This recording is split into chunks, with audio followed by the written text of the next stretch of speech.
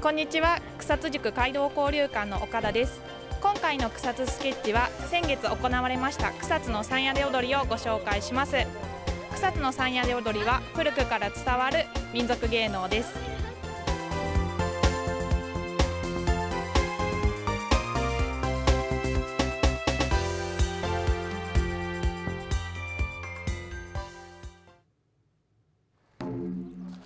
草津市下笠にあるおい杉神社。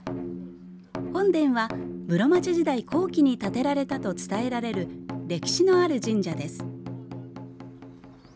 5月3日そのおい杉神社で春の例祭と三やれ踊りが行われました。草津の三やれ踊りは下笠をはじめ信濃品中片岡吉田夏香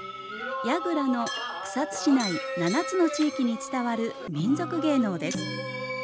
子供や若者が太鼓や笛すり金などの楽器を鳴らし踊りの合間に「三やれ」という囃子言葉を入れ楽器の音とともに踊ります。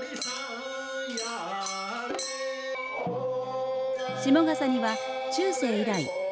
行政区域とは違う8つの村という宮座があり大杉神社の祭礼は昔からその宮座の氏子たちが奉仕してきました。我々草津下笠町から古くが伝わる、まあ、あの民族芸能であの、まあ、幸あれとかあの、まあ、五穀豊穣とかそういういろいろな願いを込めた、えー、踊りでして、えー、5月3日これあの大杉神社に奉納するということで、えー、代々頑張っております。大杉神社での踊りの奉納が終わると踊りの一行はみこしとともにそれぞれの集落で踊りを披露しながらお旅所に向かいます三やれ踊りは室町時代後期から近世初期にかけて流行った風流囃子物が起源とされています下笠に残されている衣装の中に上京5年西暦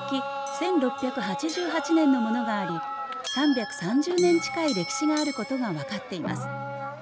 そして平成5年には国の選択無形民族文化財になっています。楽しかったです。かなり疲れたけどちょっとは楽しかった。ジャンプするとかやっぱりリズム一生懸命やってると思いますもうやっぱりこういうふうに皆さんにね見てもらってこの地域で盛り上げていってですねあの下笠に三やれありということでちょっと一回参加してやろうかいうあの方も出てくると思うんでねこれからもそういう形であの頑張っていきたいと思います。はいいかがでしたか？山屋で踊りは人々の幸せを願う踊りです。草津市としましてもこの伝統を次の世代に伝えていくために努めていきます。